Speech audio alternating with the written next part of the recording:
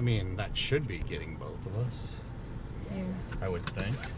Why don't you get okay. God, I would hope so. Okay.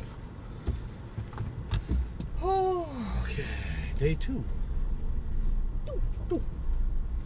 So this day was filled with exploration and panos as we drove many paved and unpaved roads in the Flint Hills. yes, there will be photography.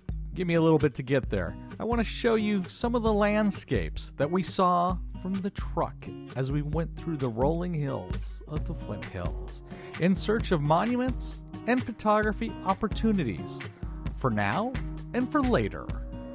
Sit back, relax, and unwind. So, we uh, went down a road that had a historical marker sign, and uh, the road has slowly turned into just two gravel tracks wide enough for my tires. We think we saw the monument up on the hill, but there's no way to literally get there. And I think I might see a place to turn around finally. Yeah. Yeah, it looks So- like there is one down I'll show you some of this fun road.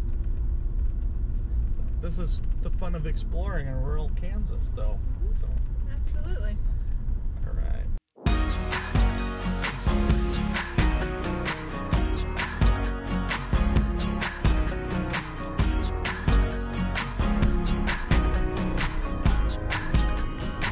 That's a road.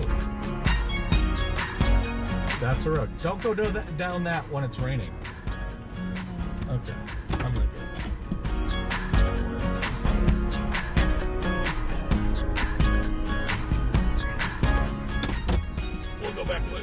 because I know what that is.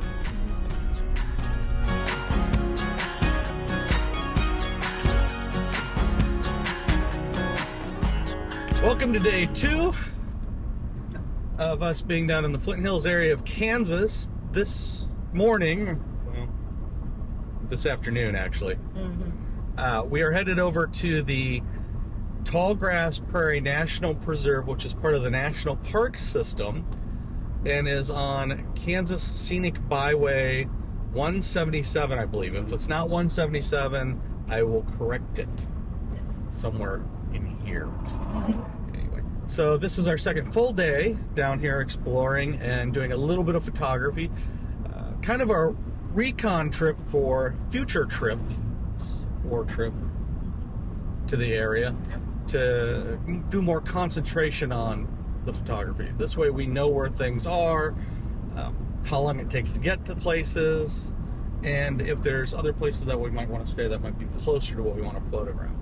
So that's what this trip is all about. So let's see what we find that might make for a good evening photograph session tonight and for future photography trips down the road. So Shelley and I did a lot of driving that day. We also spent quite a bit of time at the Tallgrass Prairie National Preserve, which is part of the national park system. It's uh, got a lot of great hikes, which we didn't have time to do, plus, it was really hot and muggy that day. This first one's a multi shot panoramic that I shot from looking out of the barn over the stockyards area. In fact, every image I believe that I'm going to show you today is a panoramic. Yeah, I went a little crazy. Plus, on top of that, I only had my 70 to 300 mil lens. Unfortunately, I forgot my 24 to 70 at home for this trip. So, we do a lot of handheld panos in this. I didn't have a tripod with me. There was plenty of light to do these photographs. Here's the raw stitched image right here below. The top one is what I came away with after I did a little bit of processing in Lightroom. Let's talk about it. Have you ever shot uh, handheld panos in the field, and how well did they turn out? I already tend to massively overlap my panoramics anyway for the frames, as you saw when I showed them to you. So handheld's not that much different. Usually I'm not uh, perfectly level, but I think this is a really nice shot. I love the clouds. You know, for the wrong time of day, I actually like this panoramic.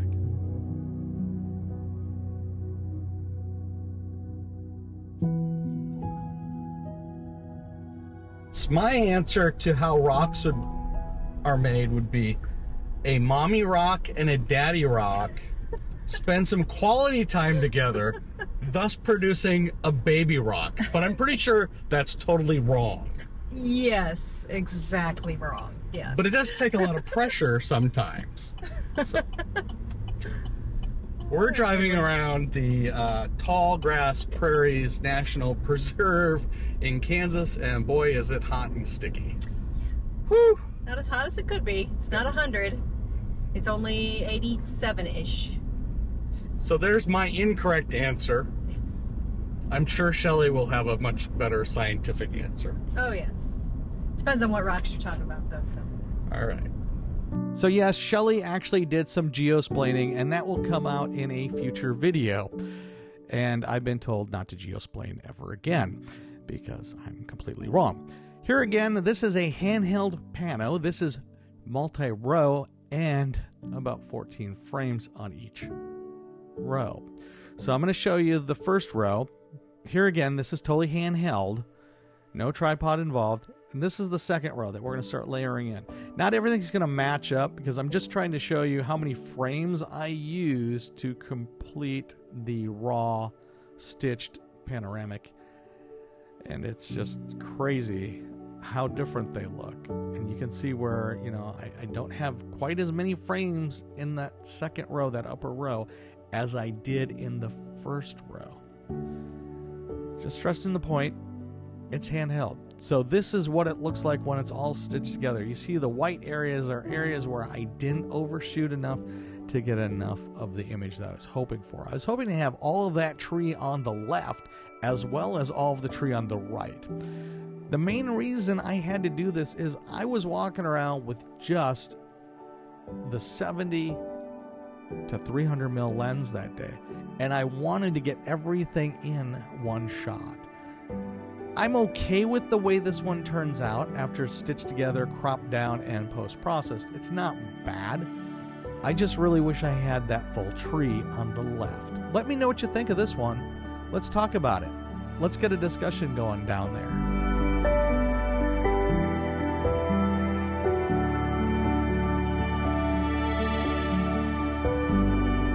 So, for my third and final photograph of the day, I wanted to show the height of this house, and here again, I only had the 70 to 300 to work with, so I had to do a handheld panoramic in the vertical, which was a little bit more difficult, as you can see here from how it's stitched together. It's kind of wacky. So, of course, I'm going to take that into Lightroom, crop it, do a little bit of post processing with it, and turn it into something much more appealing to the eye. I am really happy with the way this one turned out. I have rarely done vertical panoramics, and I've rarely, really, really, really rarely ever shot handheld vertical. It did turn out really well in my mind. What do you guys think? Let's get a discussion going down below. Handheld panos, you in? You out? You on the fence? You do need the right lighting conditions. So it's uh, quite the afternoon of exploring the Flint Hills and the Tallgrass Prairie National Preserve. Uh, we did some photography over there. We did. Not typically the time of day that you want, but it wasn't the worst light. We had some uh, nice, fluffy Simpsons like clouds floating through, so it, it helped a little bit. Yeah. So They were beautiful earlier earlier in the day. yeah, it wasn't too bad. Um, I did a lot of handheld, and I'm pretty sure by now I've explained everything to you that I did because um, it was quite the effort on my part because I just had my 70 to 300 on me and I wanted to shoot wider. So Yeah. I'm pretty sure I gave you detail on how I did that by now. So if you like what we're doing and you want to join in and hang out and you know follow along, hit the subscribe button down below. Ding the bell for notifications of when we release videos. Ding. Yeah. And if you haven't yet done so, please give us a big thumbs up. That really tells YouTube that uh, you like what we're doing and promotes it to uh, other people. Yep. And thank you so much for watching. We'll see you next time. Bye bye. Bye, everybody.